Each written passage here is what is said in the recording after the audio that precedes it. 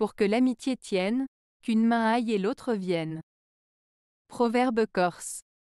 Ce proverbe corse signifie qu'une véritable amitié nécessite des efforts et des échanges mutuels. Les amis doivent faire des gestes envers l'autre et s'engager dans des interactions réciproques afin de maintenir leur relation solide et durable. Les deux parties doivent donner et recevoir pour que leur amitié puisse prospérer.